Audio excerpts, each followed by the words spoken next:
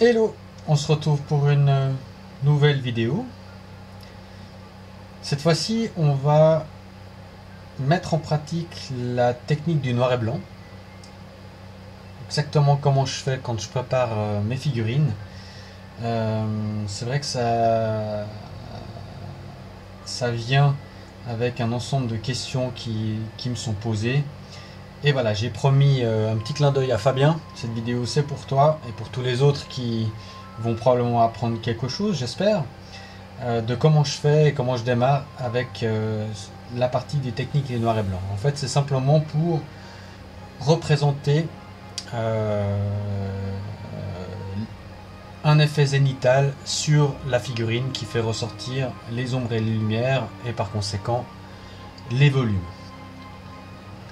Avant de passer directement à, la pratique, que je vais me mettre euh,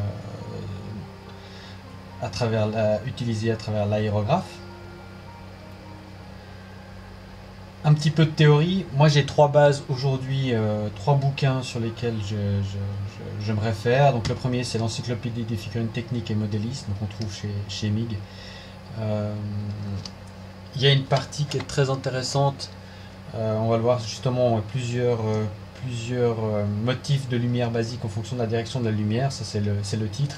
Et ce qu'on va voir aujourd'hui, c'est effectivement cet effet-là zénital, donc une, lumière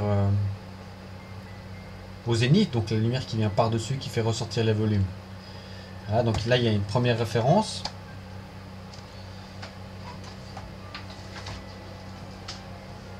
Une autre référence intéressante, c'est celle-ci chez Histoire et Collection, peinture des figurines de la Seconde Guerre mondiale.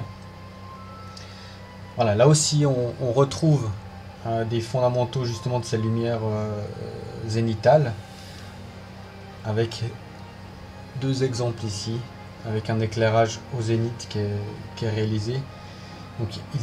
Celui-ci est illuminé par la lumière zénitale, donc un effet euh, lumière par le dessus, et puis on voit que ça fait ressortir les volumes va nous aider à peindre.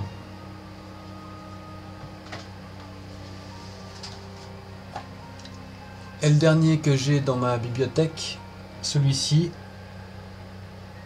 comment peindre aux acryliques, aussi chez, euh, chez Amo. Voilà, là il y a une partie très intéressante, justement l'effet zénital. Voilà, ici sur cette page là avec un, buste qui est représenté. Où on prépare à l'aérographe justement les ombrages avec plus ou moins du gris et du blanc. Un schéma de gris. Moi je fais du noir et blanc donc on va, on va mettre en le, le noir et blanc. Je vais vous montrer tout ça. Voilà. J'ai préparé pour ça un buste que j'avais encore en stock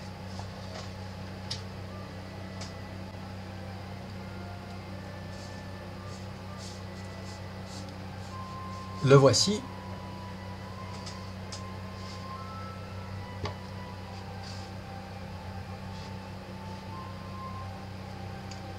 Alors pour l'exercice, donc c'est un bus de chez Young Miniature.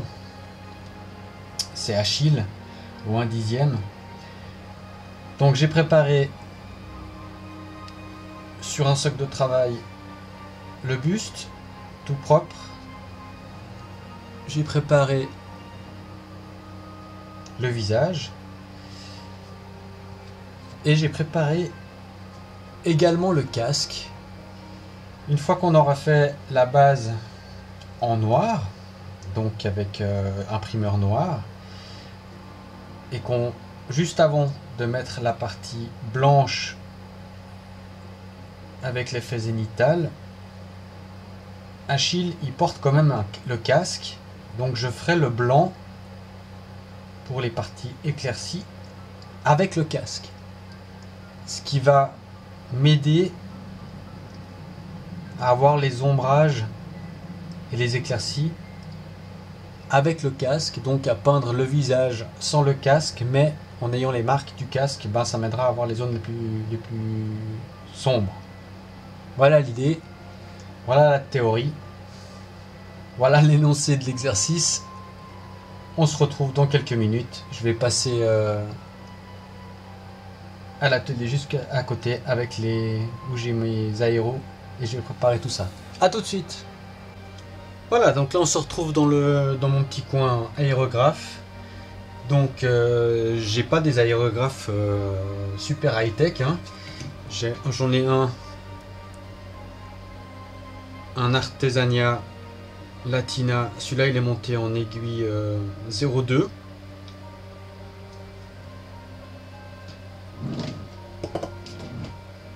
et celui-là qu'on va utiliser euh, pour, la, le primeur et le blanc pour faire euh, l'exercice qu'on doit réaliser.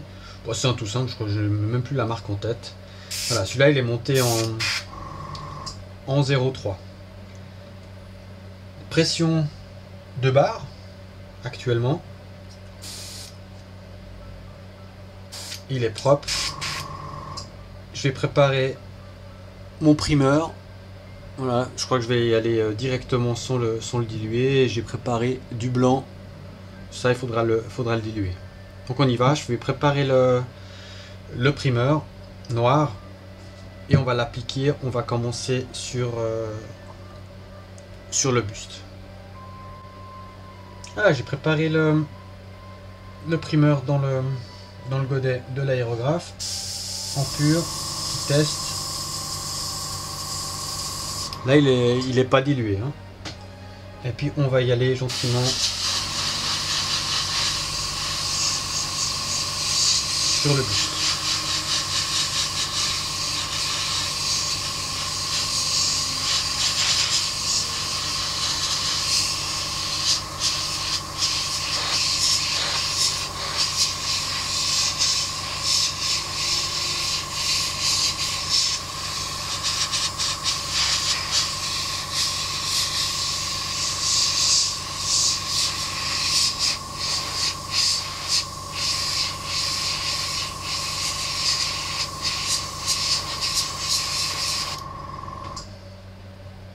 J'ai bien avancé, c'est pas encore terminé. Il faut bien aller euh, partout dans les gravures pour que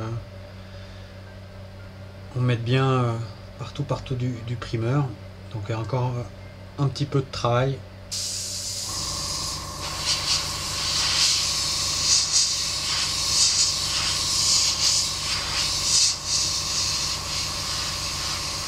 La couche elle est fine, elle sèche très vite.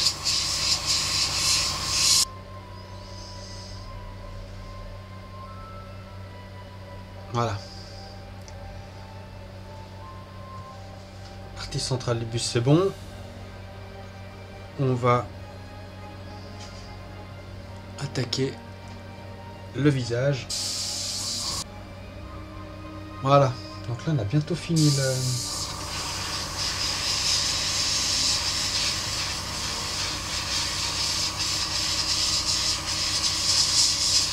Le visage.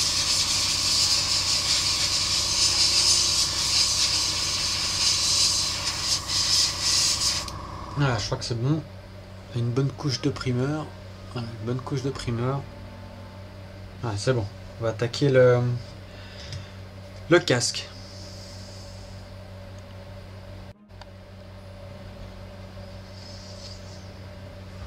Voilà, avant de débuter le casque, je l'ai quand même placé sur un petit socle de travail. Et j'ai déjà commencé quand fixé comme ça, c'est plus simple pour travailler avec. Et on y va. Un petit truc que j'utilise aussi pour sécher, je passe une couche comme ça à l'aérographe et je lâche la gâchette et je sèche. Je recule et je tire la gâchette pour le primeur. Je lâche la, la gâchette et je sèche. Je tire la gâchette. Voilà, ça permet d'avancer et de ventiler pour sécher et je tire la gâchette. Voilà, c'est un petit truc.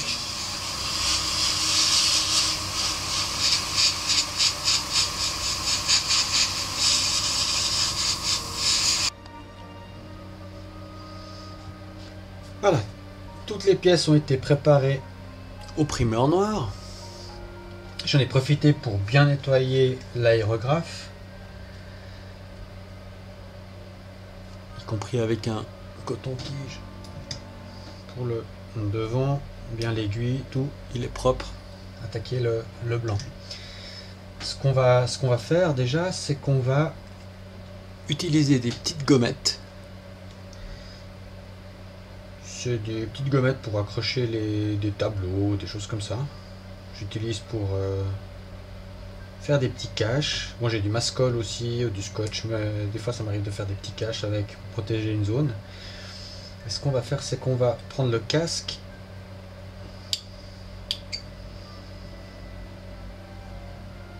Et puis, grâce à une petite gommette, comme ça il bouge pas, pas besoin de prendre. Se mettre la petite gommette.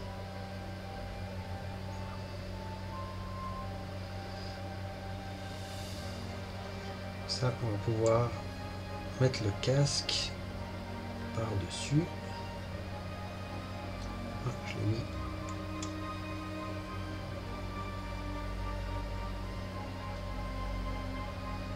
Voilà, ça donne. Ça laisse un petit espace pour moi, mais c'est pas très grave. Voilà. Et puis la même chose, petite gommette pour bien tenir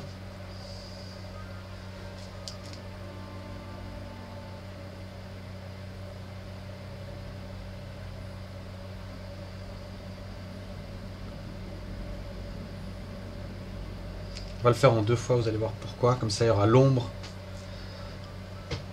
sur le buste avec la, avec la tête. Voilà, maintenant je vais préparer le, blanc.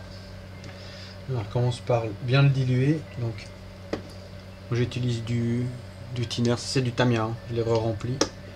Donc c'est le X20 A et puis du blanc, du blanc pur. Là c'est chez AK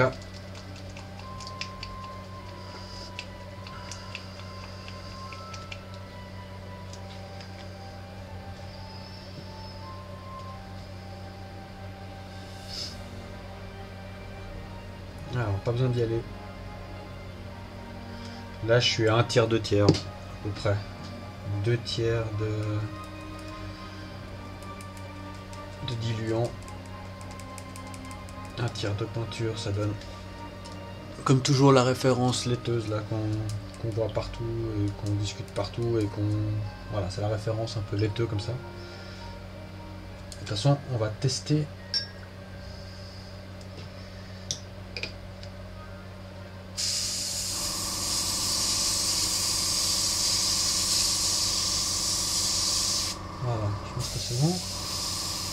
Excellent, c'est parfait. Vous les pattes de mouche, les différentes erreurs de réglage, de pression, de dilution. Voilà. Ok. Donc, comment on va pratiquer là? Ben on, va, se mettre dans une inclinaison justement zénitale. Voilà, donc la tête ou la pièce a donné l'effet noir et blanc. Je vais pousser ça. Ah ben on va se mettre dans la position. Donc on peut déjà mettre la pièce aussi sous la lumière. Voilà, elle est sous la lumière. Ça donne un premier aperçu. Voilà. Et puis si je me mets la même chose maintenant, je vais peindre assez haut, tranquillement. je vais faire des allers-retours.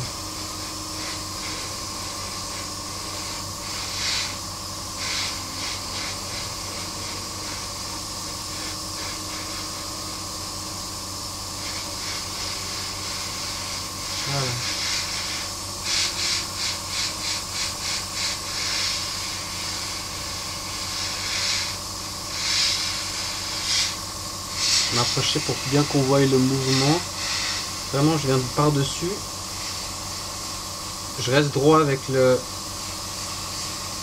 Juste, je descends l'aérographe, mais je reste droit, même si je peins à côté, c'est pas grave, ça vient bien sur les bords. Je de l'autre côté, toujours droit, avec ce mouvement en dehors, qui va de en dehors de la pièce, de chaque côté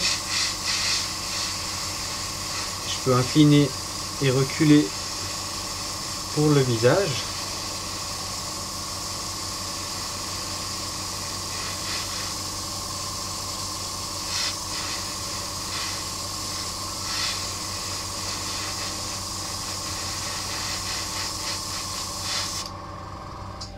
Ah, je vais remélanger un petit coup. Parce que je vois qu'il crache un tout petit peu. Il fait des je rajoute peut-être un petit peu de, de diluant. Histoire d'avoir une couche propre, fine. Voilà. Et j'y vais, je pars depuis dehors. Voilà.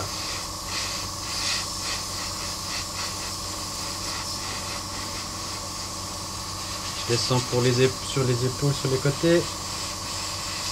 Très léger.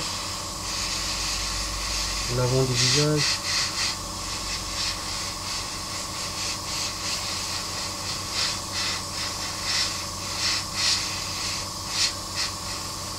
Je redescends sur le côté droit. Hein sur chaque côté.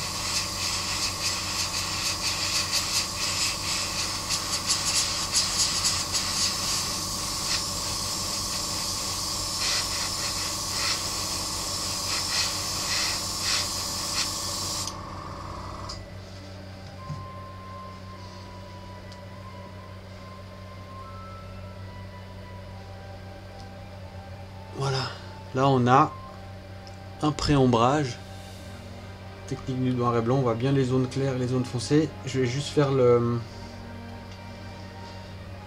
Encore un petit peu.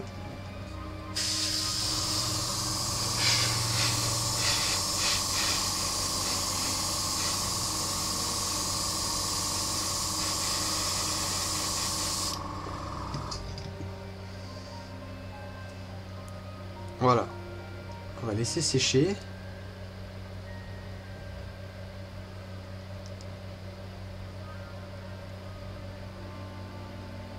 après, on va placer la... Laisser sécher un petit peu. Je vais placer après la tête sur le, sur le buste. Et je ferai le tour du buste. Avec la tête positionnée parce qu'elle est un petit peu inclinée. Donc euh, un petit peu d'ombre qui peut euh, sur le côté. Voilà.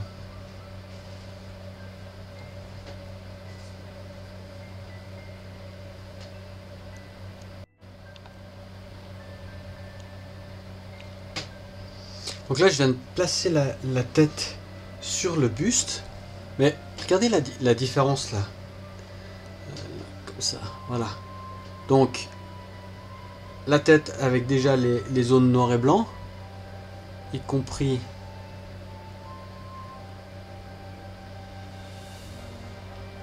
et le bas du buste qui est noir. Voilà, maintenant on va faire le, Toujours le même principe, je vais la tenir comme ça. Et en fait, il y aura, je pense, l'avant, j'espère. Voilà, puis je me mets orienté sur le haut. Voilà, je viens sur les côtés pour les bras. Un petit peu à l'avant.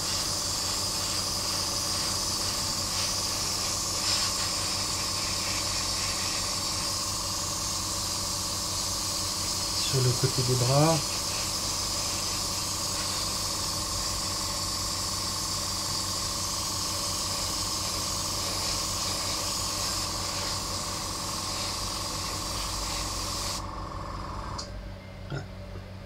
Panne sèche, panne de blanc. On recommence un petit peu.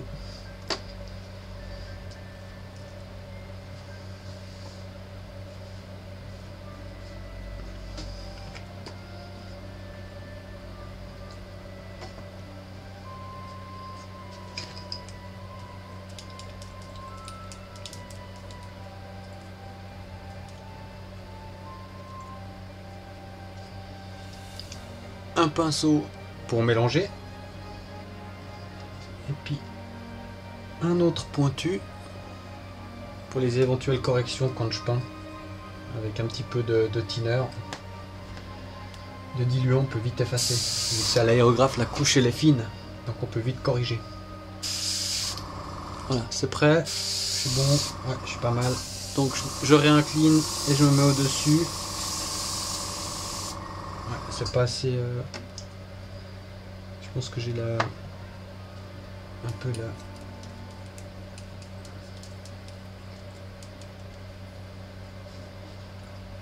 Un peu de saleté. À l'avant. Voilà. On y va. Parfait.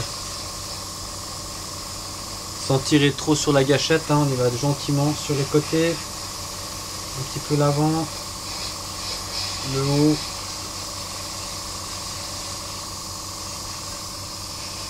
Au bord des bras comme ça.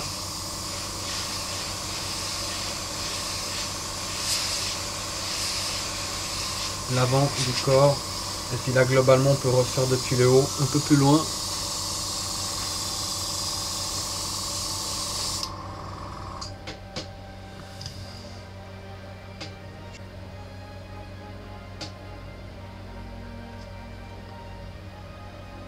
Ah, je vais... Je crois que c'est bon. Peut-être renforcer sur l'eau un petit coup. Puisque le blanc est...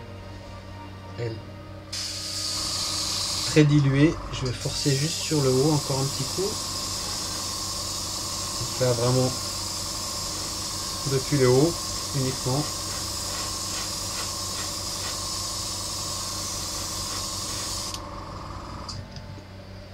Je pense qu'on va s'arrêter là.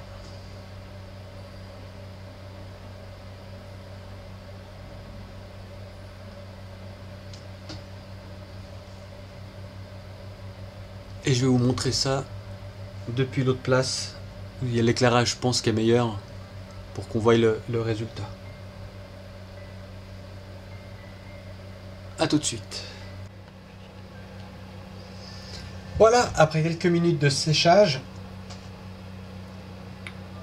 je me suis remis sur l'établi peinture. Voilà le résultat.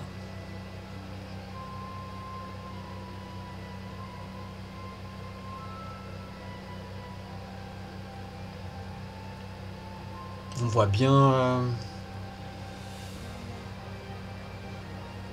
ici au niveau du, des muscles, l'ombrage, le bas du casque.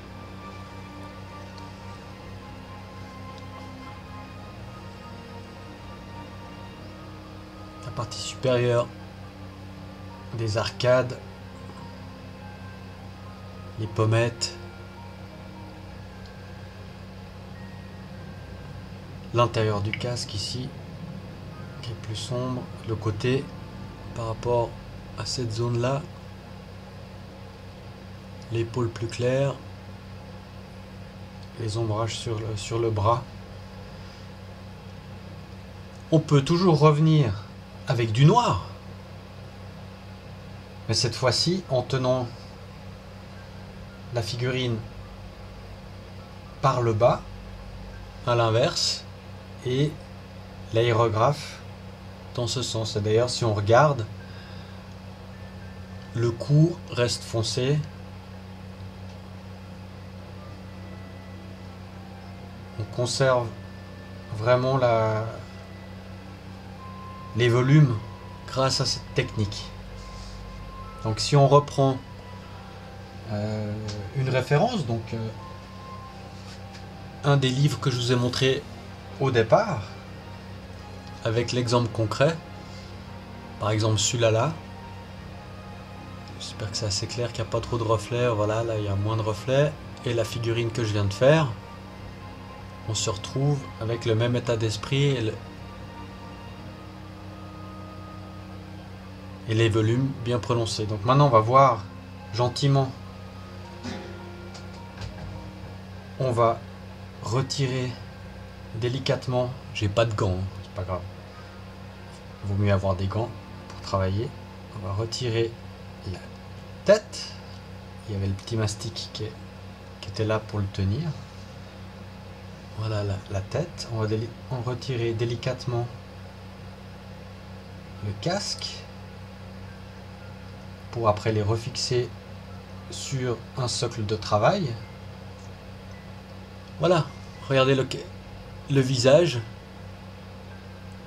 Avec sur les côtés, c'est ombré, donc euh, toute la partie du casque qui vient sur l'avant et qui cache les joues, qui protège les joues. C'est resté noir, le cou, le haut du casque, là, l'arête du nez. Donc là, on peut travailler et démarrer les, euh, les couleurs de base et les dégrader sur le visage, comme sur les cheveux, partie très foncée, et les zones claires qui sortent euh, du bas du casque. Donc ça c'est pour le visage, je vais poser là. Hop là. Je vais le remettre sur son socle de travail. voilà. Donc là il est prêt. Je vais pouvoir travailler le casque. Je vais enlever la casque là. Je vais enlever la, gommette à l'intérieur.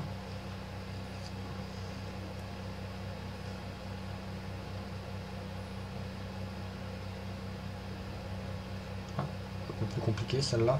ça va aller. Avec un cure-dent. Voilà.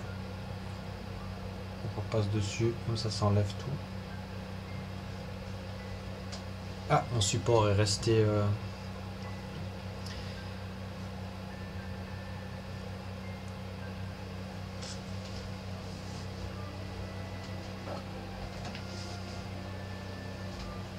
voilà, j'ai récupéré le support de travail je refixe le casque. Voilà, donc là on peut voir vraiment le, le casque, comment je vais pouvoir euh, travailler. On voit bien l'arrière, hein, ici, dessous, tout l'arrière, le bas de la nuque, ici du cou en fait, puis la nuque est plus claire, mais le cou ici c'est très foncé. Les zones claires bien évidemment sur la partie supérieure.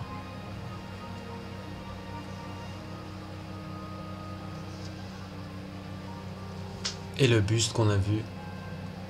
Avec là on voit l'avant est resté euh, c'est très léger mais on voit l'avant qui est resté euh, plus foncé.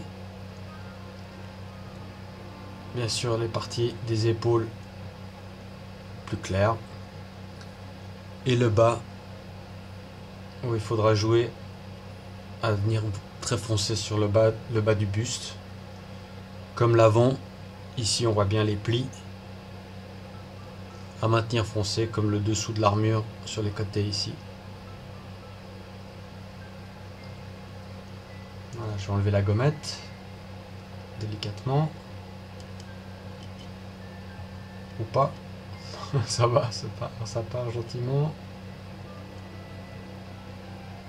Voilà.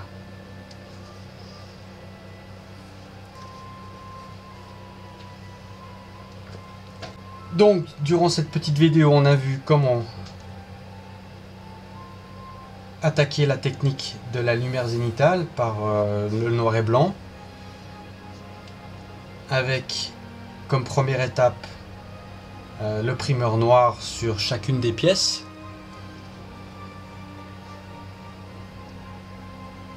Gentiment à l'aérographe. Comme deuxième étape,